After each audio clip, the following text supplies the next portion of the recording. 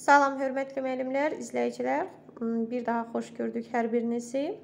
Mən Yazgül Hacıyeva. Hal-hazırda siz mənim təqdimatımda sınaq kitabçası 60-dan metodika və pedaqogika bölməsi üzrə sınaq 5-in izahına nəzər salırsınız. 41-də deyilir ki, Cavid xaricdə təhsil almaq istəyir və ingilis dilini mükəmməl öyrənməlidir. Qarşısına qoyduğu məqsəd hansı biliyin hesabındadır? Artıq Cavid özü qarşısına məqsəd qoyur ki, mən xaricdə təhsil almaq üçün ingilis dilini mükəmməl öyrənmiş olacağam. Bu şagirdin özünün şəxsi əldə etdiyi biliyi və strategiyanın nəticəsindədir. Bu da olacaq metakognitiv bilik. 42 nömrəli sualda deyilir ki, milli qiymətləndirmə nədir? Müəllimlər, ümumiyyətlə sizə qeyd edim ki, biz bilirdik ki, beynəlxalq, milli və məktəb daxili qiymətləndirmə Milli qiymətləndirmədə də qeyd etmişdik ki, 4-5 ildən bir keçirilir və bizim təhsil proqramının keyfiyyətini və ümumi təhsil sistemində baş verən dəyişikliklərin qiymətləndirməsi məqsədi ilə aparılır. Burada da gəlib öz əksini tapmış olacaq D variantında ilə. 43 nömrəli sual, 43 nömrəli sualda deyir ki, aydın üzürlü səbəbdən BSG-də iştirak etməyib, bu zaman müəllimin fəaliyyəti necə olacaq?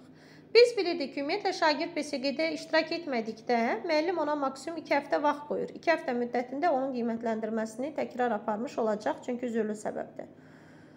Burada deyir ki, KSG qiymətləri nəzərə alıb şagirdi qiymətləndirəcək. Xeyr, şagirdə bir həftə ərzində təkrar qiymətləndirmə keçiriləcək. Bəli, bir həftə ərzində keçirilə bilinər, çünki biz maksimum ona 2 həftə vaxt vermiş olurduq. Həmin müddət ərzində onun qiymətləndirməsini aparmış olacaq. Elə cavab burada olacaq B variantı.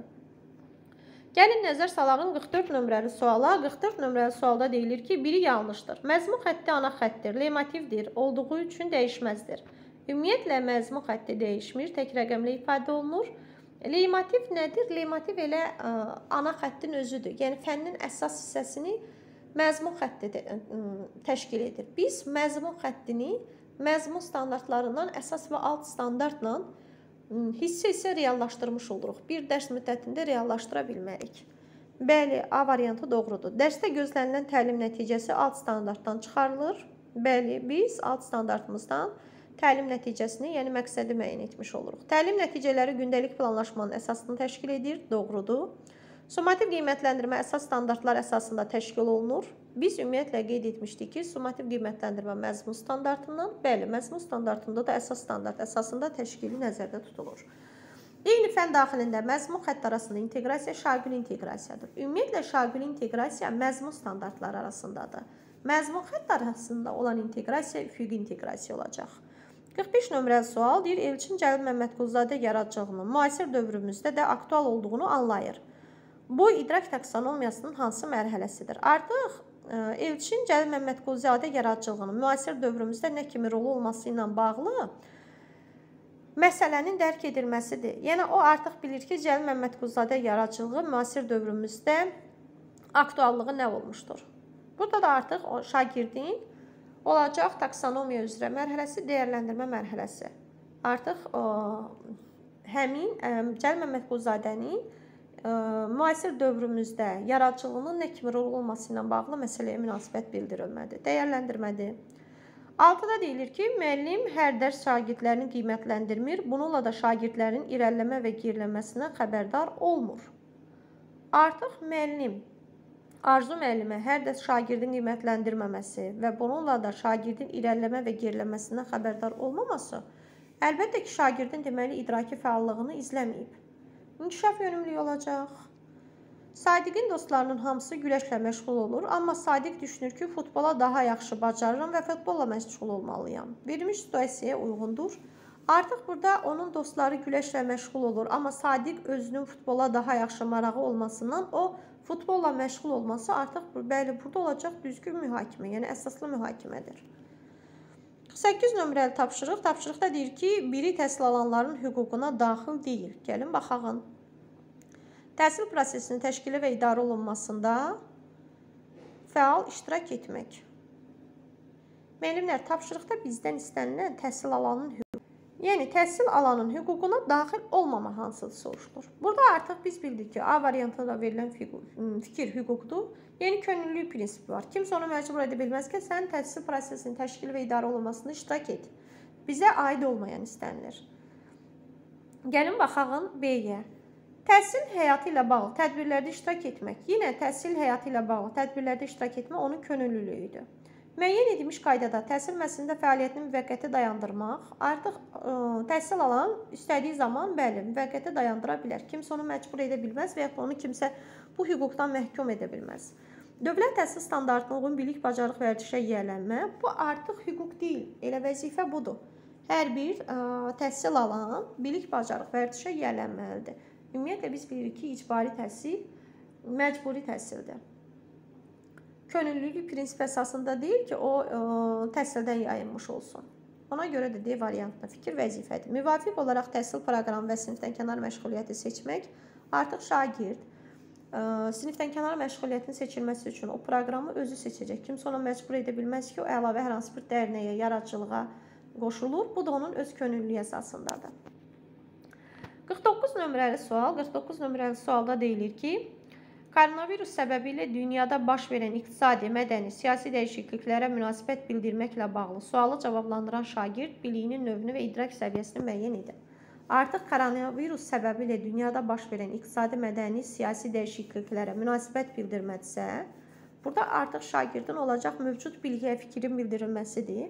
Konseptual bilik olacaq. Amma hər şagird bu virusun ə, səbəbində dünyada baş verəcək dəyişikliklərə münasibət bildirməyəcək. Yəni hər şagird bildirə bilmir. Şagirddən faktə əsaslanan bilik üzərinə mürəkkəb bacarıq tələb edir. Bu artıq o, öz əksini tapmış olacaq konseptual bilikdə. Və gəlin baxaq ki, bəs taksonomiya olaraq nə olacaq? Müəllimlər, bir şey qeyd edim sizə. Şagirddən bu virusun səbəbi ilə dünyada baş verən ə, dəyişikliklərə münasibət bildirilmək istənilir. Artıq şagird o məsələyə münasibət bildirməsi şagirdin olacaq dəyərləndirmə səviyyəsi. Bəzən düşünürsünüz ki, konseptualsa mütləq anlamadı. Xeyr, biz demişik ki, hər zaman yox, çox vaxt uyğunluq təşkil edir. Amma biz burada görürük ki, burada münasibət bildirirsə, fikir bildirmiş olub. Artıq burada şagirdin ən yüksək təfəkkürlərindən dəyərləndirmə olacaq. Yəni aşağı təfəkkür deyil ki, bu anlama götürək. Bəli, burada olacaq 49-da Y variantı. 50 nömrəli sual. 50 nömrəli sualda deyilir ki, aşağıdakı verilən fikirləri formalaşdıran bacarıqlar hansı üsula aiddir? Gəlin baxaq. Ümumiləşdirmə aparma, köhnə bilikdən yer, biliklərdən yerində istifadə, fikrin lakonik istifadə edilməsi, anlayışlar, ideyalar arasında əlaqənin müəyyən edilməsi, verilmiş əsas anlayışa aid bacar bacardıqları qədər söz assosiasiyasının yaradılması. Müəllimlər qeyd etdim ki, sizə bəzən siz burada ə, lakonik şəkildə ifadə edib, variantda əgər burada sizə sinkvin versə, fikir yayınıqlığı əmələ gələ bilərdi.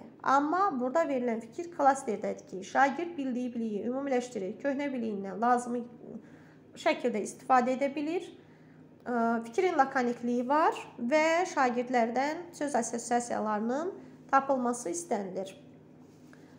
Verilən anlayışla bağlı bacarıqlarda. Bu da gəlib öz əksini tapmış olacaq klasterdə. 51 nömrəli sual, 51 nömrəli sualda deyilir ki, bu üsul formalaşdırdığı bacarıqlar aşağıdakılardır. Gəlin baxaq ki, bizdən deməli verilib bizdən aha, fikirlər verilib.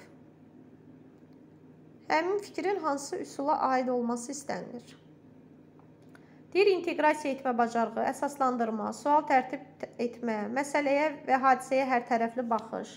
Müəllimlər, ümumiyyətlə biz bilirdik ki, inteqrasiya varsa, əsaslandırma çoxunda var, sual tərtib etmə bacarığı deyir, bir də məsələyə hər tərəfli baxış var. Məsələyə hər tərəfli baxış nədir?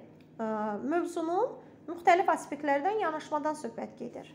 O gəlib verilən fikir biz bilirik ki, gəlib öz əksini tapmış olacaq. Burada da artıq e, deyir ki, bu üsul zamanı müəllim şagirdlərə adlandırır, izah edir, yenisini yaradır. Nə üçün? Təklif et. Artıq paylaş verilmiş üsul hansıdır? Biz bilirdik ki, kubun 6 üzü var. Hər üzə bu suallardan biri əks olunacaq və mövzunun hər tərəfli baxışı, yəni ə, e, müxtəlif aspektlərdən baxılması öz əksini tapır. Bu da olacaq Bulum kubunda. Bulum kubu da C variantında öz əksini tapmışdır. Gəlin baxağın növbəti üsula. Növbəti daha doğrusu suala. Üsul nədir? Növbəti sualımız olacaq 52 nömrəli sualımız. 52 nömrə. Deməli müəllimlər bulum kubda gördük ki, öz əksini tapmış olub. Hansı ki C variantında. Deməli 51 nömrəli sualda oldu C variantı. 52-də deyir ki, cümlə cütlərlə iş təlim formasına aid olmayan fikir hansıdır? Gəlin biz baxaq verilən fikirlərdən hansı cütlərlə işə aid olmayacaq. Deyir ki, daha operativ qiymətləndirmə aparmaq üçün qarşılıqlı qiymətləndirmədən istifadə olunma. Bəli, bu doğrudur. Təlim zamanı, təlim forması zamanı şagirdlərin bir-birindən öyrənmə imkanları olur. Bu da doğrudur.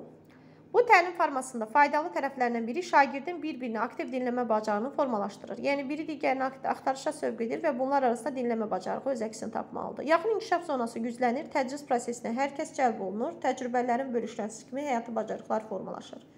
Müəllimlər, burada cütlərlə işdə yaxın inkişaf zonası yoxdur. Yaxın inkişaf zonası qruplarla iş formasında öz əksini tapmış olacaq.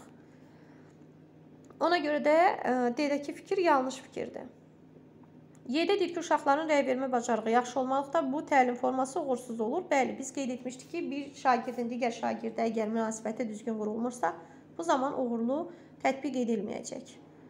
53-də deyilir ki, müəllim 6C sinifinə gələn zaman 6D-nin bu sinifdə daha yaxşı olduğunu söyləyir. Verilmiş situasiyaya əsasən müəllim pedaqoji prosesin hansı prinsipini pozub? Deməli, müəllimlər, biz fikir veririk ki, müəllim bir sinifdən digər sinifə daxil olan zaman şagirdlər arasında müqayisə aparır ki, filan sinif sizdən yaxşıdır. Yəni 6D-nin bu sinifdən daha yaxşı olduğunu söyləyir 6C-yə. Bu da artıq sağlam mənəvi mühiti pozmuş olacaq. Ona görə də elə burada cavab olacaq A variantı. Ümumiyyətlə müəllim şagirdlər arasında biz qeyd etmişik ki, düzgün belə deyək də, bir şagirdin digər şagirdlərdən bir sinfin digərindən üstün olmasını deyirsə, bu şagirdlər arasında qıcığa səbəb olacaq. Bunlar arasında artıq düzgün ünsiyyət formalaşmayacaq. Düzgün ünsiyyətin formalaşmaması da sağlam mənəvi mühitdə öz əksini tapmış olacaq. Gəlin nəzər salağın növbəti suala. Deyir, uyğunluq pozulub. Gəlin baxağım ki, uyğunluq harada pozulmuşdur. Deyir ki, Adyanktura təhsil səviyyəsidir. Biz bilirik ki, bəli, adyanktura hansı ki, ali təhsildə ali təhsil pilləsinin səviyyəsində öz əksini tapırdı. Demişdik, orada var bakalavr təhsili, magistr və doktorantura. Magistr təhsilində rezidentlər və bakalavrda da adyankturalar öz əksini tapırdı. Doğrudur. İnformal özünü təhsil yolu ilə biliklərə gələnmədir. Bəli, peşə təhsili təhsil pilləsidir. Doğrudur. Ümumi orta təhsil pilləsidir. Ümumi orta təhsil pilləsi yox, ümumi orta ümumi təhsil pilləsinin təhsil səviyyəsidir. 7-dir məktəbə hazırlıq təhsil səviyyəsidir. Bəli, məktəbə hazırlıq təhsil səviyyəsidir. Doğrudur. Amma D-dəki fikir isə yanlışdır.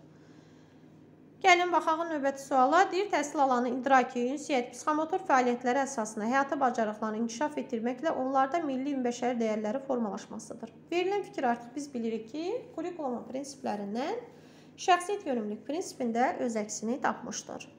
Növbəti sualımız 56 nömrəli sual. Deyir, verilmiş xalqlar içərisindən eyni dil qrupuna aid olan xalqları qruplaşdırın.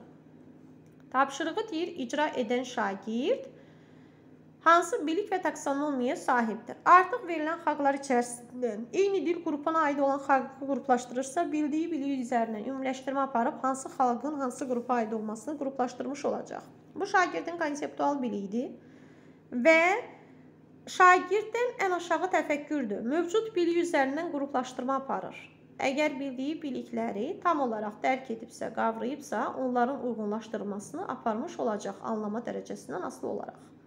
Bəli, burada olacaq anlama. 57-də deyir ki, hansı refleksiya sualı deyil. Gəlin baxağın. Dərs zamanı öyrəndiyin iki məsələni qeyd et. Biz artıq dərs müddətində öyrəndiyin iki məsələni qeyd etmiş olurdu. Şagird hansı ki 3-2-1 strategiyasında var idi. Dərs zamanı yoldaşınla birlikdə öyrəndiyin məsələləri qeyd et. Burada da artıq refleksiv üsulu var. Dərsdə hansı fəaliyyət sənin hədəfinə çatmağa rolu oldu? Artıq dərs müddətində şagird hansı fəaliyyətin hədəfinə çatmağına rol olubsa, bu şagirddə çıxış biletində istifadə etdiyi suallardır. Şagird strategiyasına dayanırdı. İlk dərsdə hansı səbəbə gecikdin? Ümumiyyətlə burada dərsə hansı səbəbdən gecikmənin refleksiya aidiyyatı yoxdur. Biz refleksiya və refleksiyada istifadə olunan üsulları şagird mövzunu nə dərəcədə mənimsəməsi ilə bağlı onda refleks aparmış olurduq. Burada da verilən fikir yanlışdır. Yəni ümumiyyətlə bunun refleksiya aidiyyatı yoxdur.